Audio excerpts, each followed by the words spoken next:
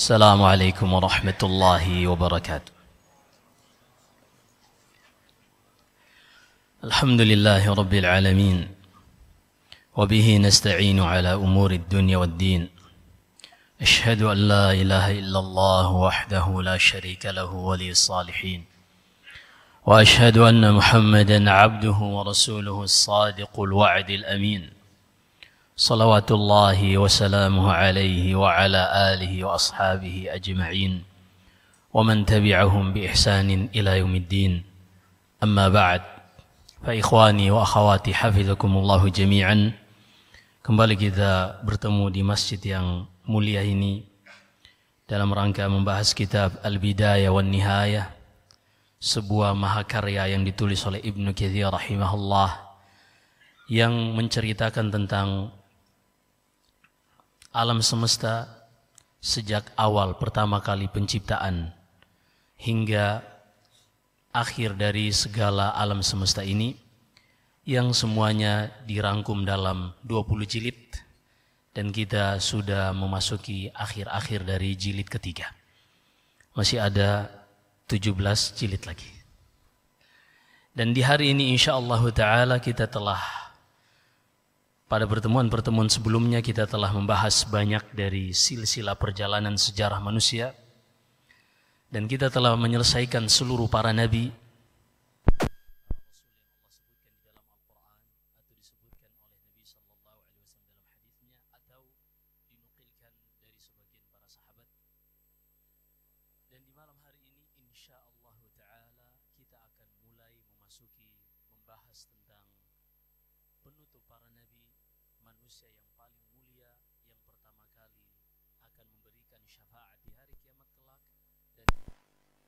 dibukakan baginya pintu surga.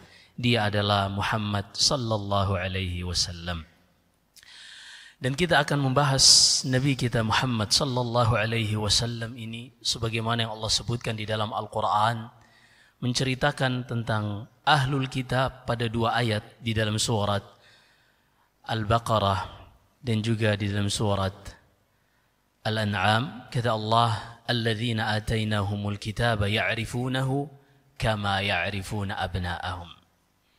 Orang-orang yang kami beri kitab kepada mereka. Mereka mengenali nabi ini yang akan menjadi penutup para nabi dan agamanya penutup semua syariat sebelumnya. Orang-orang ahlul kitab Yahud dan Nasara dan juga umat-umat yang sebelumnya mereka mengenali nabi ini sebagaimana mereka mengenali anak-anak mereka sendiri. Artinya mereka mengetahui nasabnya, mereka mengetahui karakteristiknya, mereka mengetahui ciri-ciri fisiknya dan semua yang telah diberitakan kepada mereka. Hanya saja wa inna fariqam minhum la yaktumuna al-haqqa wa hum ya'lamun. Namun sangat disayangkan sekelompok dari ahlul kitab ini bahkan mayoritas mereka menyembunyikan berita yang telah sampai kepada mereka di dalam Taurat dan Injil tentang ciri Nabi kita Muhammad sallallahu alaihi wasallam semuanya itu karena kesombongan dari mereka dikarenakan nabi yang diutus ini bukan dari Bani Israel yang akan kita sebutkan lebih detail malam hari ini. Maka Ibnu Katsir rahimahullah ketika akan mulai memasuki sejarah yang mulia dari Nabi kita Muhammad sallallahu alaihi wasallam beliau memulai dengan nasabnya dan garis keturunannya lalu menjelaskan satu demi satu dari kakek-kakek Nabi sallallahu alaihi wasallam yang akan kita bahas nanti dari Ismail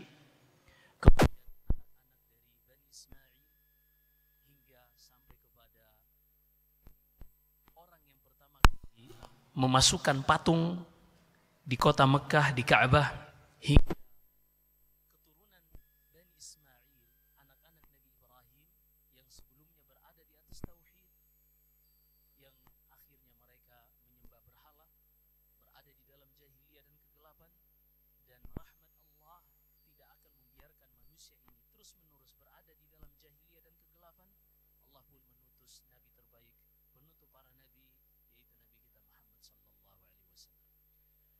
Dari sisi nasab, Nabi kita Muhammad sallallahu alaihi wasallam memiliki nasab ada yang disepakati para ulama Allah sampai Adnan ini disepakati.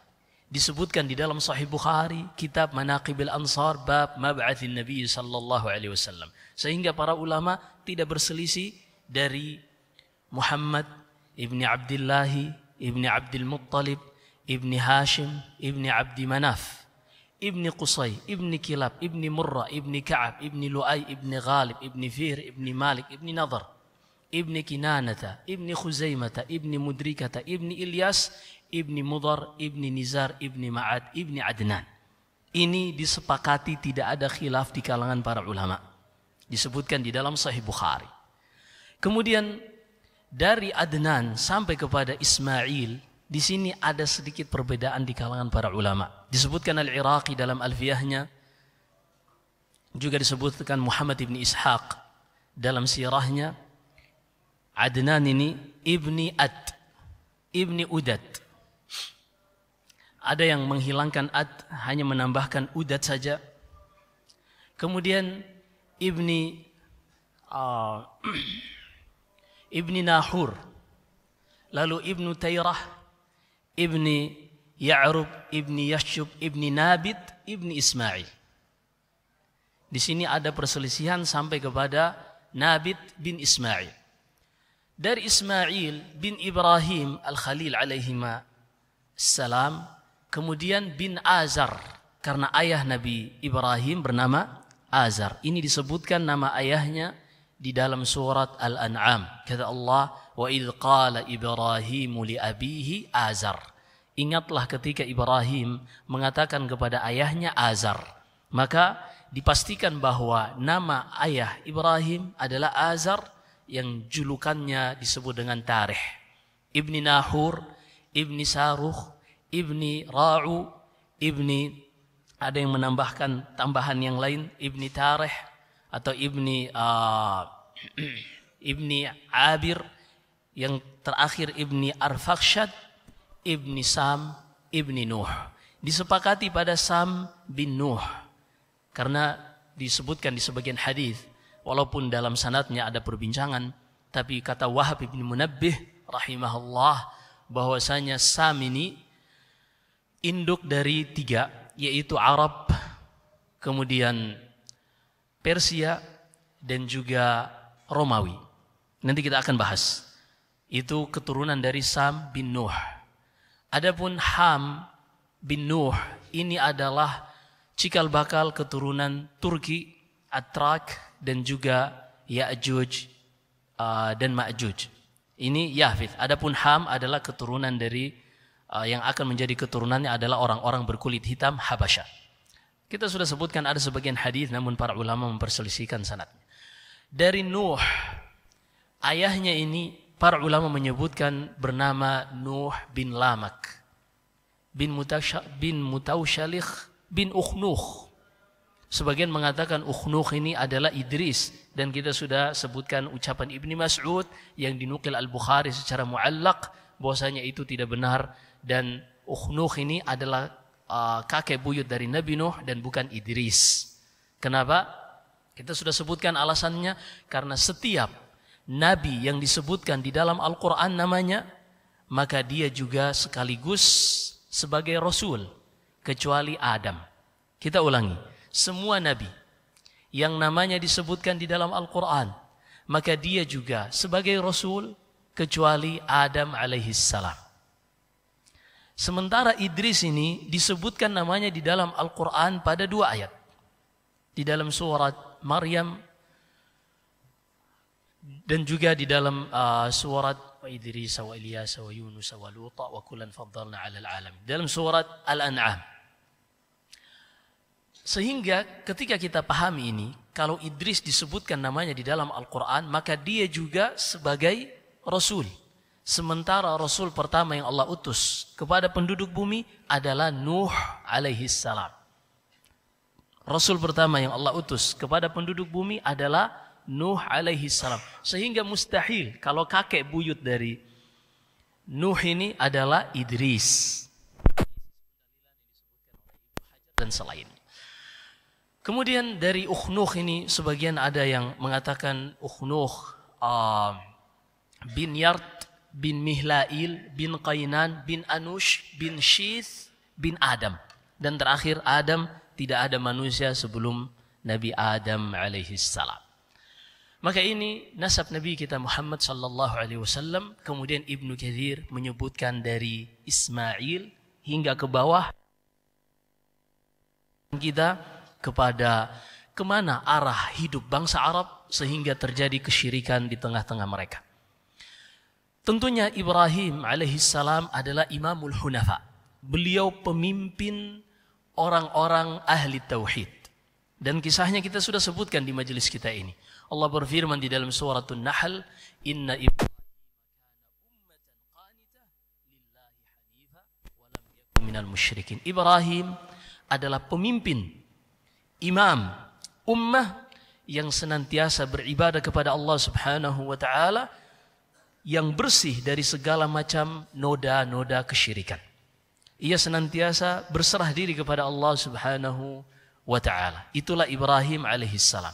Ibrahim ini kita sudah sebutkan memiliki beberapa anak. Dan yang paling di, yang sering disebutkan karena diceritakan di dalam Al-Qur'an, yang pertama adalah Ismail yang ditempatkan di Mekah, yang kedua adalah Ishak yang ditempatkan di Baitul Maqdis, Palestina. Dari dua keturunan ini, kita sudah ceritakan keturunan Bani Ishak, anak-anak Ishak. Yang mana Ishak ini memiliki dua anak yang terkenal. Yang pertama Al-Is ibni Ishak. Kemudian yang kedua adalah Yakub yang nama yang nama lainnya adalah Israel. Yang kemudian anak-anak dari Yakub yang berjumlah 12 ini kemudian disebut sebagai Bani Israel. Kita sudah ceritakan semuanya walillahil hamd. Kita akan berpindah kepada keturunan Ismail. Bani Ismail asal muasalnya mereka ini uh, kita ceritakan Ismail, kita sudah pernah ceritakan tapi hanya flashback sedikit saja untuk kita sinkronkan dengan kisah kita hari ini. Ketika Ibrahim melihat Sarah istrinya cemburu karena Hajar hamil, terjadi uh, keributan membuat Ismail membuat Ibrahim harus mengalah dan membawa Hajar beserta anaknya yang baru lahir yaitu Ismail ditempatkan di Mekah jauh dari Baitul Maqdis. Akhirnya berangkatlah Ibrahim bersama istri dan anaknya. Kemudian setelah ditempatkan hanya berbekal sebuah wadah berisi korma dan kantong air yang hanya bisa memuat sedikit air sebagai perbekalan saja. Ibrahim pun pergi. Lalu kata uh, Hajar, "Aina tadhhabu?"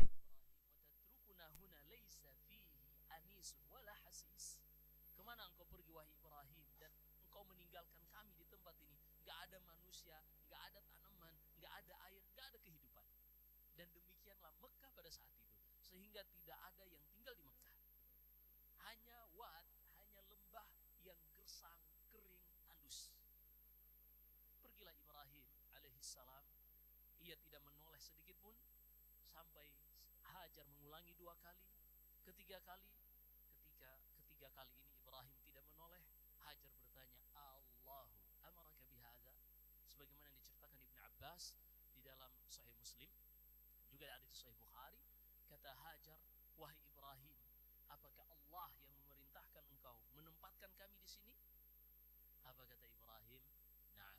Iya Allah yang memerintahkanku. Apa kata Hajar wanita yang yakin dengan Allah? Qalat idzan memang itu perintah Allah, maka Allah tidak akan pernah menyia-nyiakan kami di sini.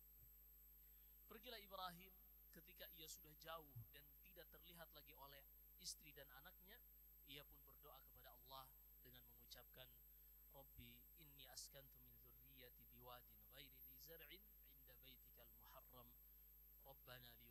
shalah faj'al af'idatan minan nasi tahwi ilaihim warzuqhum minas thamarati la'allahum yashkurun Kata Ibrahim yang Allah hikayatkan di dalam surat Ibrahim, Ibrahim berdoa kepada Allah, Ya Allah, aku telah menempatkan anak dan istriku seperti yang kau perintahkan di sebuah lembah, tidak ada tanaman, tidak ada kehidupan. Namun, aku yakin janjimu pasti, maka jadikanlah hati manusia condong. Manusia akan datang berbondong-bondong ke tempat ini. Dan jauhkanlah aku beserta keturunanku dari beribadah kepada syaitan. Ila akhirih hingga akhirnya Ibrahim pun pergi. Tapi Nabi Ibrahim, walaupun ia pergi ke Palestina kembali, Allah berikan sebuah kemudahan bagi Ibrahim sehingga ia bisa bolak-balik menjenguk anak dan istrinya yang ditinggal di Mekah. Beliau tidak akan melantarkan anak dan istrinya karena itu bukan perbuatan yang terpuji, apalagi beliau seorang nabi. Apa yang terjadi? Ibrahim menjenguk perjalanan pada saat itu dari Mekah ke Syam, ke Palestina, itu bisa sebulan lebih. Tapi Allah berikan kemudahan bagi Ibrahim dengan menaiki burak. Burak ini suatu seekor hewan seperti kuda yang uh, bulunya sangat lebat dan langkahnya sejauh mata memandang. Burak inilah yang dinaiki oleh Nabi Sallallahu Alaihi Wasallam ketika Isra dari Hijr Ismail menuju ke Baitul Maqdis sebelum Mi'raj ke atas langit bersama Jibril alaihi salam. Ini hewan burak disebutkan oleh Ibnu Katsir rahimahullah. Kemudian ketika Ismail tinggal bersama ibunya Hajar di manusia sedikit pun. Perbekalan telah habis. Hingga Hajar tidak bisa lagi memproduksi susu. Karena kehausan dan kelaparan. Seorang wanita untuk air susunya bisa keluar membutuhkan nutrisi makanan. Dan itu sudah tidak ada. Dan ketika itu terjadi Ismail yang masih sangat bayi ini, ia pun menangis hingga Hajar tidak tega melihat wajah anak ini yang sangat menyedihkan. Ia pun pergi mencari bantuan hingga naik ke sebuah bukit yang bernama Bukit Sofa. Ia pun memanggil, mungkin saja ada orang yang melintasi tempat tersebut. Ternyata nggak ada. Ia turun menuju ke bukit yang lain di arah yang lain. Itulah yang disebut dengan Bukit Marwa, tapi ternyata nggak ada orang yang melintas satupun. Karena tempat yang gersang. Manusia tidak ada yang akan menyengaja lewati tempat tersebut karena nggak ada keuntungannya. Hingga tujuh kali Hajar ini bolak-balik antara Sofa dan Marwa. Tiba-tiba ada yang mengatakan has-has atau sah-sah. Dengan beberapa riwayat, ternyata itu adalah suara Jibril alaihi salam lalu mengatakan la takhafid dhay'ah. Jangan engkau takut disia-siakan di tempat ini karena Allah telah menetapkan di tempat ini anak ini bersama ayahnya akan membangun rumah bagi Allah Subhanahu wa taala yaitu Al-Ka'bah. Ketika itu pun Jibril alaihi salam mengepakkan sayapnya hingga mengeluarkan air yang kemudian dikenal dengan air Zam-Zam. Ketika itu Hajar langsung membendung uh, mata air ini. Hingga kata Nabi sallallahu alaihi wasallam rahimallah umma Ismail. Semoga Allah merahmati Hajar, ibu Ismail ini. Kalau bukan karena dia segera membendung zam-zam ini hingga menjadi sebuah sumur, niscaya zam-zam ini hanya akan menjadi ainan ma'inan. Hanya menjadi air yang mengalir saja. Akhirnya, mereka pun Ismail dan ibunya menikmati minum dari zam-zam. Berhenti menangis. Tiba-tiba ada satu kafilah yang melewati jauh dari tempat tersebut. Namun mereka melihat ke arah Mekah ini, ada burung-burung yang mengitari tempat. Dan di antara uh, yang diketahui oleh orang Arab, tidaklah burung-burung itu mengitari suatu tempat, melainkan ada sumber kehidupan yaitu air. Namun mereka mengatakan, kita belum pernah mengetahui tempat ini memiliki air. Diutuslah salah seorang hingga mereka ia sampai dan dipanggillah kabilah ini, kafilah dagang ini yang mereka berasal dari kabilah Jurhum bin Qahtan dari keturunan Sam bin Nuh. Fasyahid, mereka inilah yang disebut dengan kabilah Jurhum. Mereka adalah Arab Aribah. Mereka adalah kabilah Arab asli yang berasal dari negeri Yaman. Yang berasal dari negeri Yaman nanti kita akan sebutkan ini masih ada kaitannya dengan kaum Sabah. Kaum Sabah yang pernah kita sebutkan ketika bendungan Ma'rib mulai digrogoti oleh tikus ada seorang yang bernama Amr ibn Amir Al-Lakhmi ketika ia melihat hal tersebut ia pun mencari cara untuk segera keluar dari negeri Sabah, dari kota Yaman, dari negeri Yaman agar ia terhindar dari musibah kalau bendungan tersebut jebol. Ceritanya kita sudah kisahkan, kita tidak ulangi lagi. Intinya mereka pun pergi meninggalkan negeri Yaman dan terpencar di antaranya adalah kabilah Jurhum ini. Kabilah Jurhum ini. Yang panjang ceritanya tentunya nanti akan ada sinkronisasinya insya Allah kita akan sebutkan. Intinya mulailah Hajar bersama anaknya didatangi oleh orang-orang dari Jurhum. Mereka ingin meminta izin untuk minum. Dan ini di antara akhlak orang Arab. Walaupun yang menjaga air tersebut seorang wanita. Tapi karena bukan milik mereka, mereka tidak mengambilnya. Dan tidak memaksakan diri. Makanya orang Arab ini memiliki akhlak yang baik. Sebagiannya. Sebagiannya yang lain Ah, memiliki akhlak yang buruk sehingga Nabi Shallallahu Alaihi Wasallam diutus bukan hanya membuat mendatangkan mencontohkan akhlak yang baru tapi Rasulullah diutus untuk menyempurnakan akhlak. Inna mabu'ithu liutammima makarimal akhlak. Karena orang Arab dahulu sudah ada akhlak-akhlak yang baik ini. Nanti kita akan sebutkan juga tentang Amr bin Luhai uh, al-Khuzai insyaallah. Bagaimana akhlaknya di zaman jahiliyah dahulu. Jurhum ini pun mereka mulai menempati eh, menempati Mekah sekitar Baitullahil Ka'bah yang pada saat itu belum dibangun oleh Ibrahim dan Ismail. Pada saat itu Hajar mengatakan kalian boleh minum dan menggunakan air ini sesuai hajat kalian tapi kepemilikannya adalah milikku. Jurhum pun sepakat. Mereka pun membuat tenda-tenda bermukim di tempat tersebut hingga kabira Ismail. Ismail ini mulai mencapai usia menikah. Ia pun menikah dari salah seorang kabilah Jurhum. Perlu diketahui bahwasanya Ismail bin Ibrahim alaihi salam ini bukan Arab. Mereka tidak berbahasa Arab. Tapi mereka Ibrahim ini berasal dari negeri Babil. Berasal dari negeri Babil. Bahasanya bahasa uh, Ibrani. Nggak tahu kalau bahasa Suryania seperti apa. Inti, intinya uh, Ismail ini tadinya tidak bisa berbahasa Arab. Begitu juga Hajar. Hingga akhirnya uh, Hajar berbeda. Afwan, Hajar berbeda karena dia berasal dari Mesir. Dia berasal dari Mesir, hadiah dari uh, Raja Mesir pada saat itu kepada Sarah yang ingin merebut Sarah. Intinya Ismail pun besar dan menikah dari salah satu wanita kabilah Jurhum. Ibrahim alaihissalam suatu saat datang menjenguk anaknya. Ketika sampai ke rumah Ismail, Ismail sedang keluar mencari nafkah. Di rumahnya hanya ada istrinya ini. Lalu Ibrahim bertanya tentang kaifa aishukum, bagaimana penghidupan kalian? Lalu wanita ini ternyata wanita yang kurang bersyukur. Ia mengatakan hidup kami susah, kami itu miskin, kami makan aja susah dan seterusnya. Lalu Ibrahim menitipkan, kalau suamimu pulang, fa'murhu an yughayyira atabata baitih. Kalau suamimu pulang, beritahukan agar ia mengganti daun pintu rumahnya. Maksudnya ceraikan istrinya. Iya. Akhirnya Ismail pulang, ia merasa sepertinya ada saja yang baru datang dan Ibrahim sudah pergi terlebih dahulu. Kata istri dari Ismail ini, tadi ada seorang syekh, ada seorang tua datang seperti ini menanyakanmu. Lalu kata Ismail, hal wasana bisyai? Apakah orang tua tersebut mewasiatkan sesuatu? Kata istrinya, iya. Ia mewasiatkan agar engkau mengganti daun pintu rumahmu. Apa kata Ismail?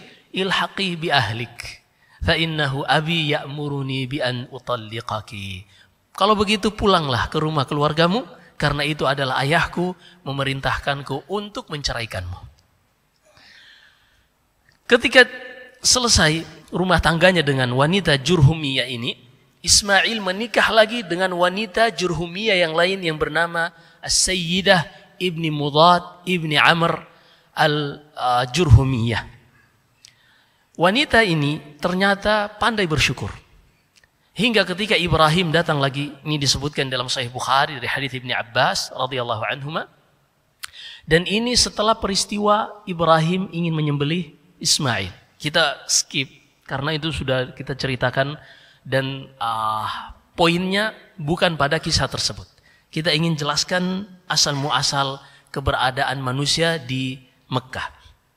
Ketika itu pun Ibrahim datang menanyakan tentang Ismail yang pada saat itu sedang mencari nafkah yang ada hanya istrinya ternyata istrinya mengatakan alhamdulillah kami berada dalam uh, kelapangan kami bersyukur kepada Allah lalu Ibrahim mewasiatkan kalau suamimu pulang katakan agar dia menetapkan uh, tetap menjaga daun pintu rumahnya ini ketika Ismail datang istrinya ini menyampaikan wasiat tersebut dan Ismail pun tetap berumah tangga dengan As-Sayyidah bintu Mudad ibni Am ibni Amr uh, Al-Jurhumiyah. Dari istrinya ini Ismail mendapatkan 12 orang anak. 12 orang anak. 11 laki-laki yang paling terkenal adalah Qaidar dan juga Nabit. Seluruh Arab Hijaz dari Mekah sampai ke Madinah semuanya kembali kepada dua anak Ismail ini, yaitu Qaidar dan Nabit. Adapun nasab Nabi Shallallahu Alaihi Wasallam tadi kita sebutkan, Ya'rub bin Yashjub bin Nabit bin Ismail. Bin Nabit bin Ismail. Fasyahid. Ismail memiliki satu anak perempuan yang bernama Nasamah. Nasamah inilah yang kemudian ia nikahkan dengan anak saudaranya yaitu Al-Is ibni Ishaq. Dan dari hasil pernikahan ini lahirlah bangsa Romawi. Dari hasil pernikahan Al-Is ibni Ishaq ibni Ibrahim dengan Nasama bintu Ismail ibni Ibrahim lahirlah bangsa Romawi. Baik. Setelah itu Jurhum ini pun hidup ah, harmonis dengan Bani Ismail dan yang memegang manajemen untuk haji dan ah, kemakmuran Masjidil Haram adalah Bani Ismail. Dari Ismail kemudian kepada anaknya Nabit yang mereka semua menyerahkan uh, pengurusan Masjidil Haram kepada Bani Ismail. Namun Mudad ibni Amir ini sepertinya ia ingin dan ini pada masa Nabit bin Ismail yang menjadi pemimpin di Mekah uh, kakeknya yaitu Mudad bin Amir al-Jurhumi merebut uh, apa namanya kepengurusan Masjidil Haram ini. Merebut kepengurusan Masjidil Haram hingga akhirnya Masjidil Haram ini diurus oleh Jurhum kabilah Jurhum. Terus dipimpin oleh kabilah Jurhum ini hingga sampai kepada uh, jadi Mudad ini memiliki anak yang bernama Al Harith ibni Mudad ibni Amir melanjutkan tahta kepemimpinan Masjidil Haram setelah uh, ayahnya. Kemudian Al Harith bin Mudad ini memiliki anak yang bernama Amir ibni Harith ibni Mudad yang dia melanjutkan dari ayah dan kakeknya. Hingga tiba suatu saat ada seorang yang bernama As-Samaida. As-Samaida ini ia tinggal di Mekah di sekitar Ajiat yang bawah dan Nabit bersama apa orang-orang Jurhum tinggal di Mekah yang lebih tinggi. Hingga terjadi keributan, peperangan dan Jurhum tetap menang dan mereka pun terus melanjutkan kepemimpinan uh, Masjidil Haram. Hingga generasi berganti generasi mulai muncul kerusakan. Banyak kemaksiatan dan banyak penyimpangan-penyimpangan mereka menumpahkan darah hingga terjadi sebuah peristiwa yang dilakukan oleh seorang laki-laki dan perempuan yang bernama Isaf laki-lakinya dan Nailah perempuannya. Mereka ini wal billah berzina di dalam Masjidil Haram. Di Ka'bah. Hingga Allah subhanahu wa ta'ala mengutuk keduanya dan menjadikan keduanya batu. Hadis ini diceritakan oleh Aisyah radhiyallahu anha. Ia mengatakan dulu kami masih kecil di Mekah.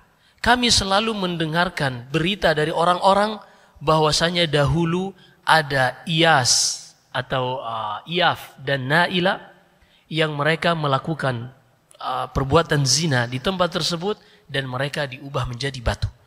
Oleh orang-orang Jurhum, kedua patung ini diletakkan tidak jauh dari Ka'bah. Tujuannya apa? Agar manusia terus mengingat peristiwa tersebut dan tidak berani melakukan hal-hal yang tidak pantas di Masjidil Haram.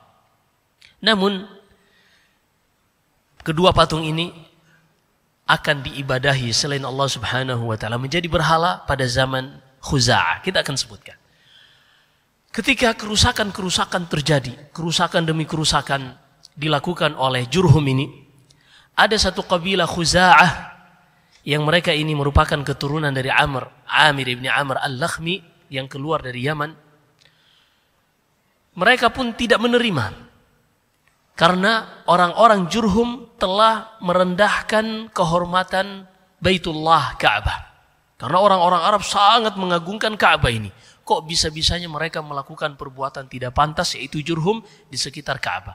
Maka Khuza'ah pun mereka mulai mempersiapkan pasukan untuk memerangi jurhum dan merampas tahta kepengurusan Masjidil Haram dari orang-orang jurhum. Hingga akhirnya Khuza'ah pun yang mengatur kepengurusan di Masjidil Haram.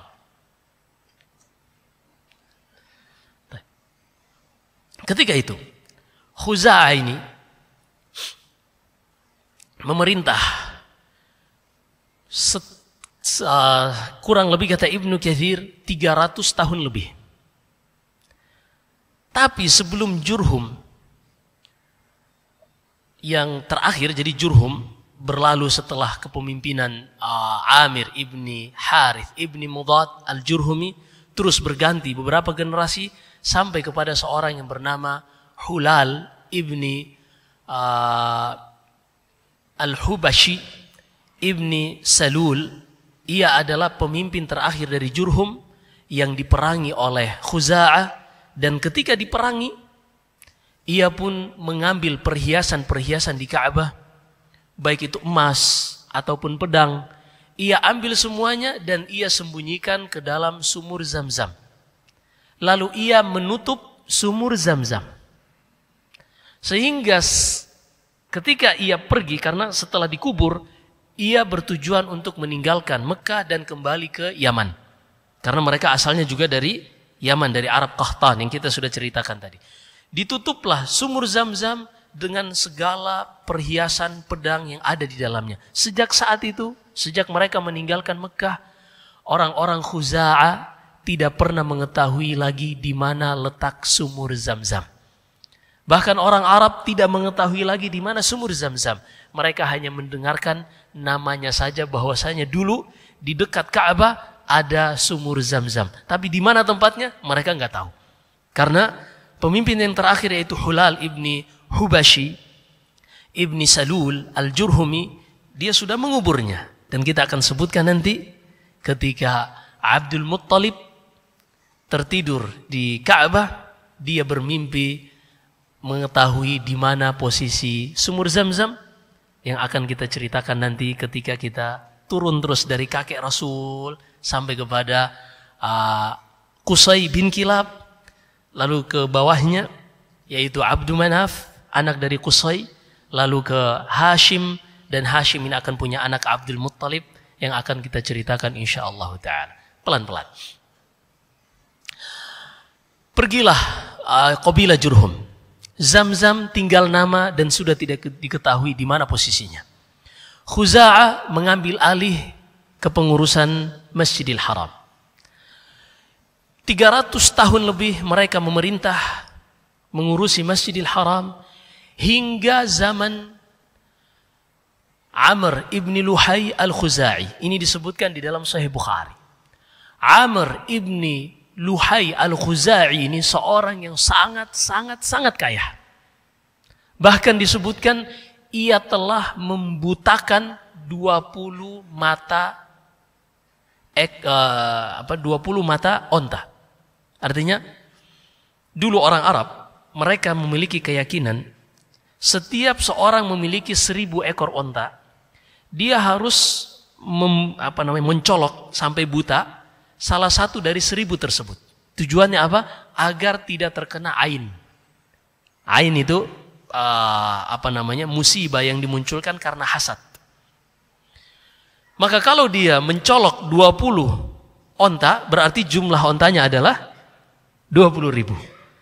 Amr ibn Luhai al-Khuzai sangat sangat sangat kaya.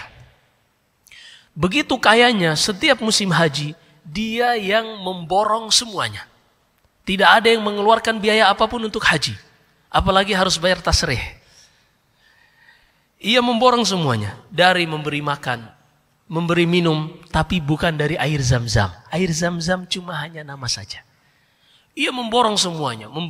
Setiap musim haji ia menyembeli sekian ribu. Hingga ketika ia begitu dermawan, ucapan Amr ibni Luhai al-Khuzai ini menjadi seperti syariat yang diikuti. Karena orang melihatnya begitu kaya, begitu dermawan, mereka pun namanya manusia kalau sudah berkaitan dengan duit, tunduk iya. Kalau ada yang ngomong-ngomong banyak, sumpel aja mulutnya dengan duit. Kelar urusan. Katanya seperti itu. Wallahu a'lam. Fasyahid.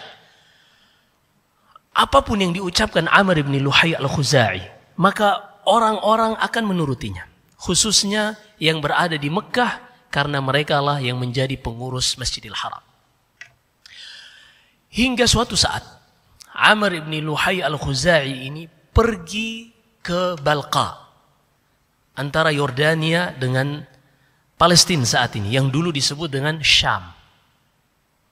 Ketika sampai di sana, ia melihat orang-orang menyembah patung seperti Nasara. Mereka menyembah patung. Karena pada saat itu Syam menjadi pusat kekaisaran Romawi. Mereka menyembah patung. Lalu Amr bin Luhai yang mengetahui di Mekah manusia itu benar-benar mentauhidkan Allah dan hanya beribadah kepada Allah, ia pun bertanya, apa yang kalian lakukan ini? Orang-orang Syam mengatakan, Na'buduhu, kami menyembah patung ini. Ketika kami mengalami musim paceklik, tidak ada hujan, kami meminta kepada patung ini untuk menurunkan hujan kepada kami. Maka hujan pun turun. Padahal kan gak ada buktinya, cuma omongan doang. Akhirnya ia pun mengatakan, oh gitu ya, coba berikan satu untuk aku bawa sebagai oleh-oleh ke negeri Arab karena aku adalah orang yang ditaati di kaumku. Maka diberikanlah kepada Amr ibn Luhai al-Khuzai ini sebuah patung yang sangat besar yang bernama Hubal.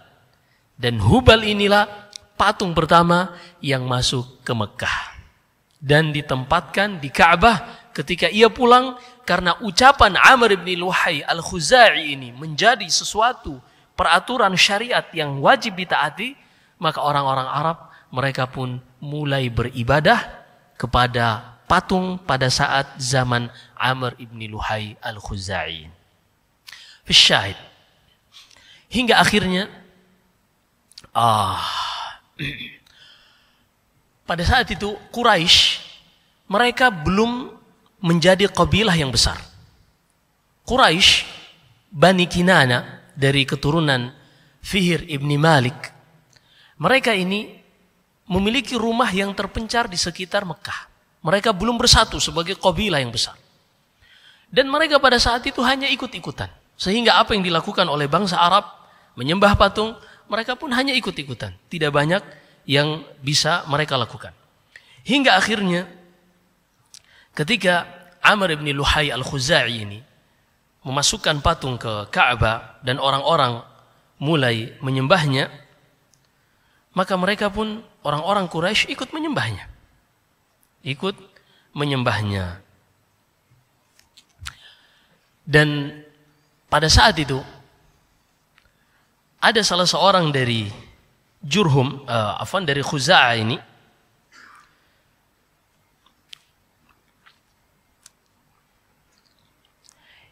yang mereka ketika berhaji mereka mengucapkan talbiyah labbaik Allahumma labbaik labbaik la syarika laka labbaik illa syarikan huwa lak tamlikuhu wa ma malak mereka bertalbiyah seperti yang kita ucapkan hanya mereka menambahkan illa syarikan huwalak. Kecuali sekutu mereka adalah milikmu. Engkau menguasai mereka namun mereka tidak menguasai engkau ya Allah. Ini ucapan mereka. Hingga akhirnya begitu uh, Khuza'ah ini terus silih berganti kepemimpinan di antara mereka pemimpin terakhir dari Khuza'ah ini memiliki seorang anak yang bernama Hubbah dinikahi oleh Qusay bin Kilab. Hubbah ini dinikahi oleh Qusay bin Kilab. Dekat zamannya dengan zaman uh, Amr ibn Luhai al-Khuzai. Di situlah anak dari Kusai bin Kilab ini ada empat. Yang mereka ini akan mewarisi kepengurusan Masjidil Haram. Yang pertama adalah Abdu Manaf. Yang, uh, yang pertama Abdul Dar, yang kedua Abdul Manaf, yang ketiga Abdul Uzza, yang keempat Abdah. Ini empat anak dari Kusai bin Kilab yang menikah dengan Hubba anak dari uh, salah satu pemimpin Khuza'ah.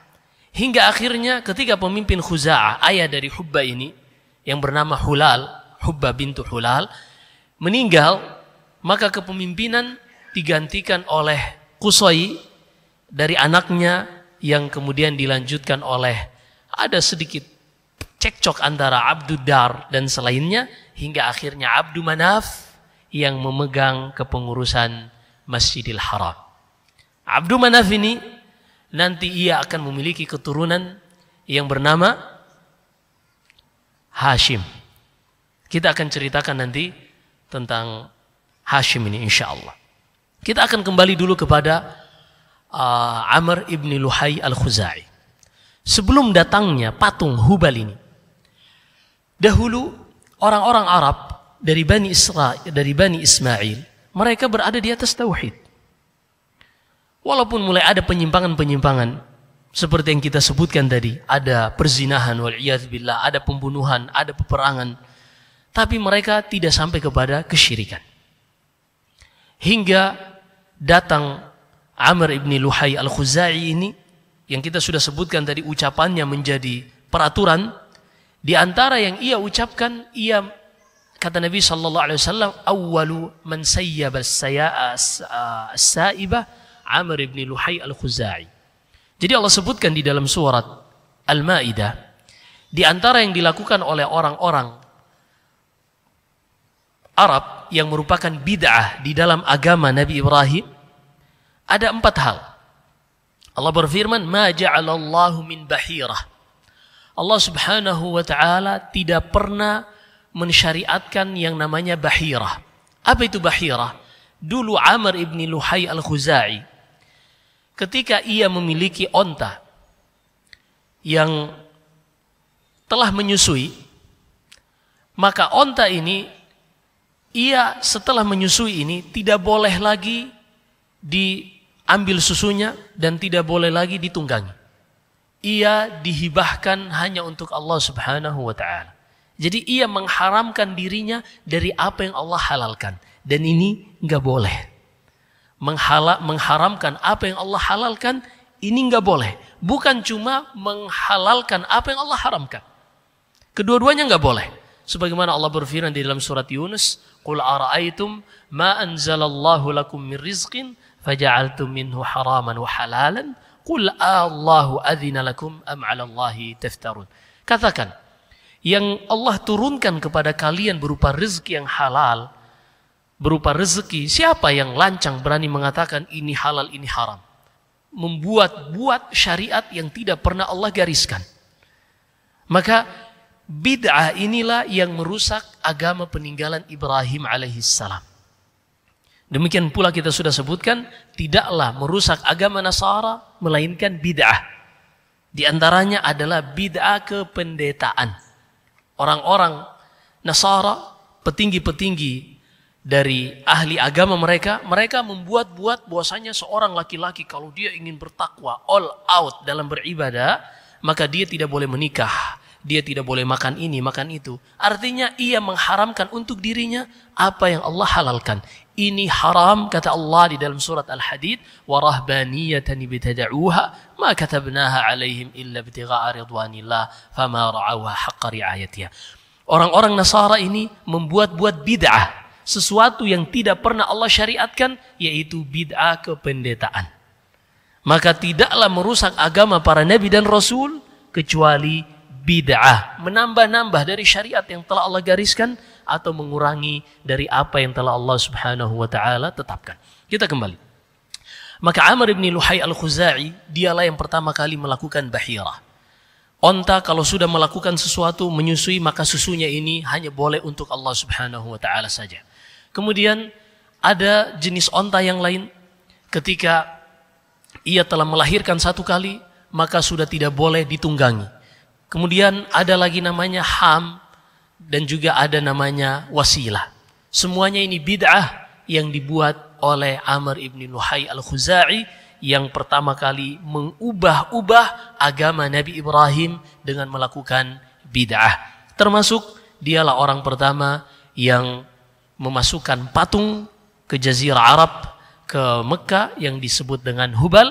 Hingga akhirnya di zaman inilah mereka menyembah kepada Iyas atau Iyaf wanailah yang berzina tadi yang kemudian Allah ubah jadi batu patung. Dan akhirnya mereka pun menyembah uh, kedua patung ini. Sejak saat itu bangsa Arab pun mulai terbentuk mindsetnya bahwasanya mereka butuh patung untuk dalam meluapkan ibadah hingga tidak tersisa satu kabilah pun melainkan mereka memiliki patung masing-masing. Mulailah ada patung yang namanya uh, Al-Uzza. Ada patung yang bernama Al-Lat. Ada patung yang bernama Manat, ada patung yang bernama Wad, Suwa, Yaghuth, Ya'uq dan Nasr. Ini ada di kota Taif. Dan kita akan sebutkan lebih rincinya sedikit lagi insya Allah tentang kakek Rasulullah Qusay bin Kilab yang memiliki empat anak Abdul Manaf hingga akhirnya sampai kepada Hashim. Kita sebutkan sedikit setelah salat Isya biidnillah wallahu alam sallallahu alaihi wasallam baraka ala Muhammad setelah zaman Amr Ibni Luhai Al-Khuzai dari kabilah Khuza'ah yang sebelumnya mereka menjadi penguasa Masjidil Haram.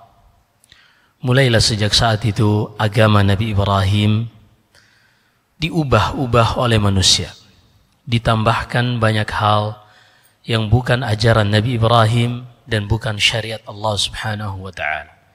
Dan bangsa Arab mulai memiliki banyak ritual-ritual yang bukan disyariatkan oleh Allah Subhanahu wa taala. Di antaranya seperti yang kita sebutkan tadi, bangsa Arab mereka mulai menyembah berhala, mulai menyembah patung. Bahkan lebih dari itu, di antara mereka mulai ada yang menyembah pepohonan. Pepohonan yang dianggap angker disembah oleh mereka. Sebagaimana Allah Subhanahu wa taala sebutkan, "Afara'aitumul Lata wal Uzza wa Manat?"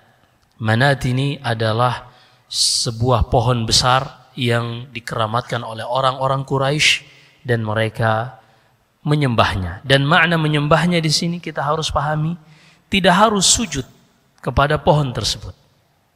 Tapi ketika seorang meyakini takut kepada pohon tersebut, jangan sampai kalau ia lewat tidak permisi misalnya, maka pohon tersebut akan membuatnya kecelakaan atau misalnya memberikan uh, sakit kepadanya, ini adalah keyakinan-keyakinan yang bentuknya ibadah tidak boleh diserahkan kecuali hanya kepada Allah Subhanahu wa taala.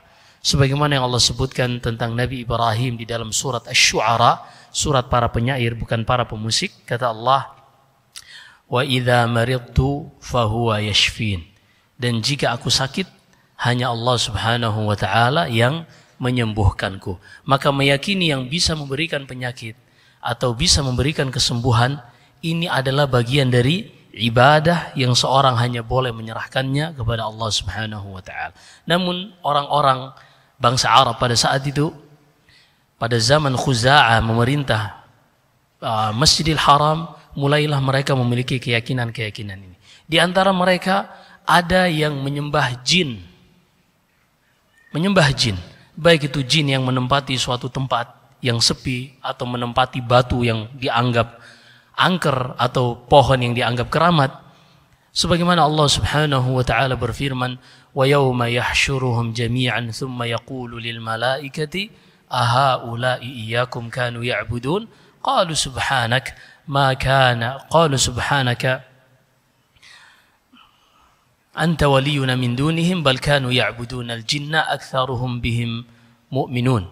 ketika kami bangkitkan mereka semua di hari kiamat kelak kemudian kami berkata kepada malaikat wahai malaikat apakah manusia-manusia ini yang dahulu menyembah kalian?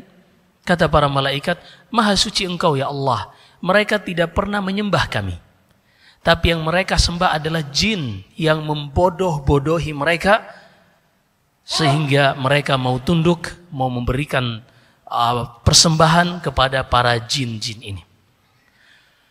Biasanya jin ini memberikan rasa takut kepada manusia. Sebagaimana Allah sebutkan di dalam surat Al-An'am, وَكَذَلِكَ زَيَّنَ لِكَثِيرٍ مِنَ الْمُشْرِكِينَ قَتْلَ أَوْلَادِهِمْ شُرَكَاؤُهُمْ لِيُرْدُوهُمْ وَلِيَلْبِسُوا عَلَيْهِمْ دِينَهُمْ Kata Allah, di antara kebiasaan orang jahiliyah, di antara mereka ada yang memberikan persembahan berupa anaknya untuk dibunuh sebagai persembahan kepada jin. Ini dilakukan oleh orang-orang jahiliyah. Juga di antara mereka ada yang mulai memiliki keyakinan-keyakinan buruk seperti menganggap wanita anak perempuan sebagai aib, sebagai perkara negatif yang harus dihilangkan dan dimusnahkan. Allah sebutkan di dalam surat An-Nahl dan juga di dalam surat Az-Zukhruf kata Allah, "Wa idza busyira ahaduhum bil untha dhalla wajhuhu muswaddan wa huwa kadhib." Ketika mereka diberi kabar gembira akan kelahiran seorang anak perempuan, sang ayah dari orang jahiliyah ini pun wajahnya merah penuh dengan rasa malu dikarenakan memiliki anak perempuan. Maka dia hanya ada dua pilihan hidup di tengah masyarakat jahiliyah pada saat itu. Pertama, ia mengubur anaknya hidup-hidup agar terhindar dari rasa malu karena punya anak perempuan. Yang kedua, ia biarkan anak ini hidup sebagai konsekuensinya ia harus menahan malu sepanjang hidupnya. Sehingga di antara mereka ada yang mengubur anak perempuan mereka hidup-hidup. Juga di antara orang-orang jahiliyah, keyakinan mereka mulai rusak, mulai menyimpang. Di antara mereka ada yang tidak beriman dengan hari kebangkitan. Mereka mengatakan bahwasanya hidup ini hanyalah waktu yang akan membuat kita semuanya mati, usang, dan tidak akan ada kehidupan lagi setelah kematian. Sebagaimana Allah sebutkan dalam surat Al-Jathiyah, وَقَالُوا إِنْ هِيَ إِلَّا حَيَاتُنَا الدُّنْيَا namutu wa nahya wa ma yuhlikuna illa dahar. Dan mereka mengatakan yaitu orang-orang jahiliyah, hidup kita ini hanyalah hidup dan mati, makan dan minum. Tidak ada yang membinasakan kita kecuali usia kita yang sudah habis. Setelah itu nggak ada lagi kehidupan. Ini sebagian keyakinan mereka. Sebagian orang-orang jahiliyah ada yang menyembah malaikat. Mereka menyembah malaikat. Ada di antara mereka yang mengatakan malaikat ini adalah anak perempuan Allah. Na'udzubillah. Di antara mereka ada yang berkeyakinan-keyakinan yang sangat banyak. Yang Allah subhanahu wa ta'ala ketika melihat manusia sudah berada di dalam kesesatan jahiliyah ini dan Allah merahmati hamba-hambanya tidak akan membiarkan mereka terus-menerus di dalam kesesatan. Di antara konsekuensi rahmatnya kepada hamba-hambanya Allah mengutus Nabi kita Muhammad sallallahu alaihi wasallam. Tujuannya apa? Mubasyiran wa nadhiran wa da'iyan ila Allah biiznihi wa sirajan munira. Allah sebutkan di dalam surat Al-Ahzab untuk memberikan kabar gembira bagi orang yang taat kepada Allah dan Rasulnya dan memberikan peringatan kepada orang-orang yang durhaka kepada Allah dan Rasulnya. Dan banyak lagi keyakinan-keyakinan yang sangat banyak ini khusus jahiliyah Arab. Kita belum masuk menambahkan jahiliyah dari kalangan ahlul kitab walaupun kita sudah bahas kisahnya pada pembahasan Bani Israel. Jahiliyah Bani Israel ini atau jahiliyah ahlul kitab, mereka ada yang mengangkat manusia dijadikan sebagai anak Allah. Seperti Yahudi yang mengklaim bahwasanya Uzair adalah anak Allah. Juga orang-orang Nasara yang mengklaim bahwasanya Al-Masih Isa bin Maryam anak Allah hingga mereka menjadikannya Tuhan dan menyembahnya bersamaan dengan menyembah Allah Subhanahu wa taala poin yang ingin disampaikan Ibnu Katsir. Dari kitabnya ini membawakan kisah ini. Bahwasanya dahulu nenek moyang Rasulullah dari Ismail sampai anaknya Nabit dan seterusnya ini berada di atas tauhid. Berada di atas agama Allah Subhanahu wa taala.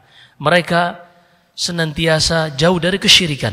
Mereka mengerjakan salat, mereka berpuasa, mereka juga berzakat dan mereka melaksanakan haji karena haji ini syariat yang Allah berikan keistimewaan bagi Nabi Ibrahim. Kemudian setelah datangnya Amr ibni Luhai al-Khuzai, barulah bangsa Arab termasuk di dalamnya Bani Ismail, mereka mulai menyimpang dari agama Ibrahim alaihissalam dan di antara mereka ada yang mulai melakukan kesyirikan menyembah berhala. Namun mereka menyembah berhala ini bukan berarti tidak menyembah Allah. Mereka beribadah kepada Allah tapi juga beribadah kepada patung-patung mereka. Inilah yang disebut dengan kesyirikan. Jadi kesyirikan itu dari kata asyraka yushriku yaitu menggabungkan dua hal menjadi satu. Itu namanya isyrak. Menggabungkan dua hal menjadi satu tapi tidak menyatu hanya disandingkan. Ini namanya isyrak. Sehingga dalam bahasa Arab perusahaan itu disebut dengan syarikah.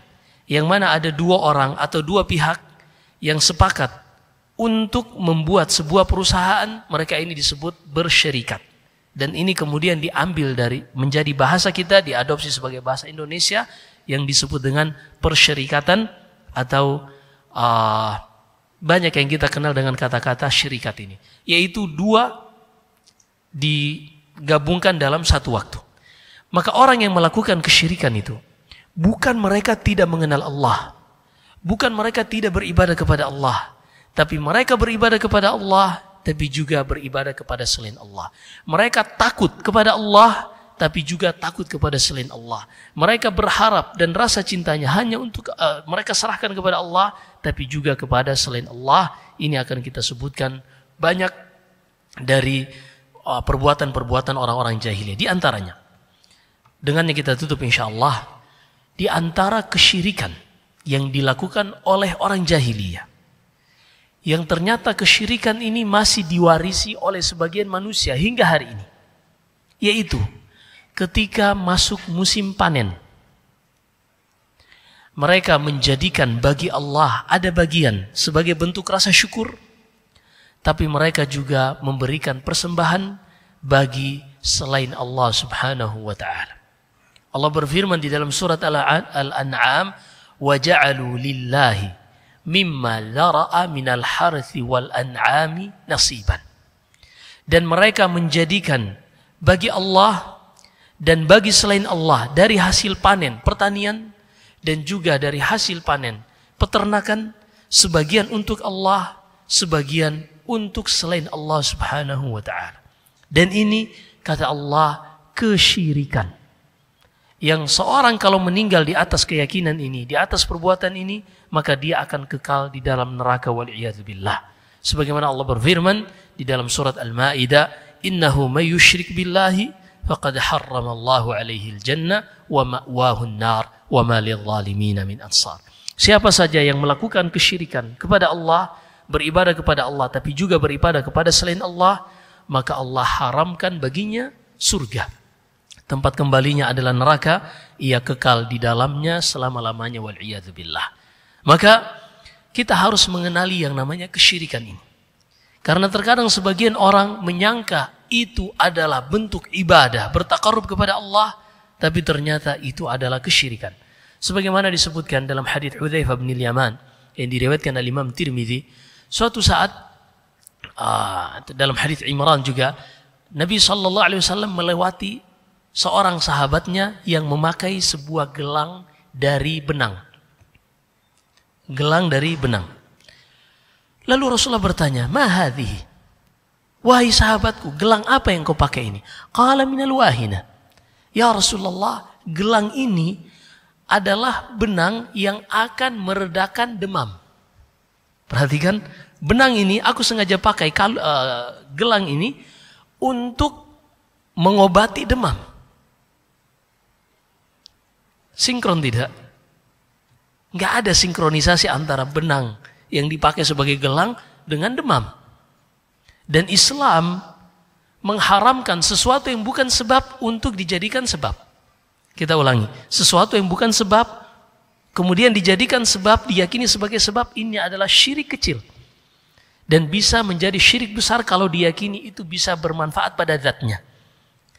Kita ulangi. Rasulullah melihat sahabat ini menggunakan gelang dari benang Ketika ditanya, mahadi, apa yang kau pakai ini? Ia mengatakan, minal wahina. Ini mengobati atau mengurangi demam. Apa kata Rasulullah? Inziha. Fa inna kalau mitta wahi alaik ma aflahta abadan. Cabut. Lepaskan gelang ini, buang. Karena kalau seandainya engkau meninggal di atas keyakinan seperti ini, engkau tidak akan pernah selamat. Karena itu kesyirikan. Bayangkan ini, sahabat Nabi hidup di zaman Nabi Shallallahu Alaihi Wasallam yang namanya kesyirikan tidak ada seorang pun yang bisa merasa aman darinya. Ia harus mempelajarinya, ia harus mengetahui hakikatnya sehingga ia bisa menghindar dari jeleknya kesyirikan ini. Seorang penyair mengatakan, "Araftu syarra la li syarri walakin li tawaqqih." Wa man lam ya'rif syarra minal khairi yaqafi. Aku sengaja mempelajari keburukan bukan untuk melakukannya, tapi untuk bisa menghindarinya. Karena siapa saja yang tidak bisa membedakan antara keburukan dari kebaikan, maka potensi untuk terjatuh ke dalam keburukan sangat besar tanpa ia menyadarinya. Begitulah kesyirikan Nabi sallallahu alaihi wasallam bersabda dalam hadis Abu Bakar, "Asyirku fi ummati akhfa min dabibi namlati sauda ala sakhrati samma fi lailati dhalma." Kata Rasulullah, kesyirikan di tengah-tengah umatku ini dikarenakan kejahilan di antara mereka menjadi sesuatu yang lebih samar dari tapak kaki semut hitam di atas batu hitam di malam yang gelap gulita. Kelihatan gitu? Tapi kata Rasulullah, syirik di tengah-tengah umatku lebih samar dari tapak kaki semut tersebut. Menunjukkan tidak ada seorang pun yang bisa merasa aman dari kesyirikan ia harus belajar dan ia harus mengetahui apa itu kesyirikan dan kejelekan serta keburukannya. Kemudian ia berusaha menghindari dengan apa yang telah ia pelajari berupa buruknya dan jeleknya kesyirikan ini. Kemudian insya Allah kita akan sebutkan setelahnya kakek-kakek dari garis keturunan Rasulullah setelahnya Abdul Manaf, kemudian anaknya Hashim dengan perjalanan yang sangat luar biasa, lalu anak dari Hashim Abdul Muttalib, kemudian Abdullah hingga lahirnya Nabi kita Muhammad sallallahu alaihi wasallam. Insyaallah kita akan sebutkan pada pertemuan-pertemuan berikutnya. Wallahu alam. Jika ada benarnya semata-mata dari Allah Subhanahu wa taala, jika ada kesalahan dan kekeliruan dari saya, wa li wa lakum. Sallallahu alaihi wa baraka ala nabiyina Muhammad. Subhanakallahumma bihamdik, asyhadu an illa anta astaghfiruka wa atubu ilaik. Wassalamu alaikum warahmatullahi wabarakatuh.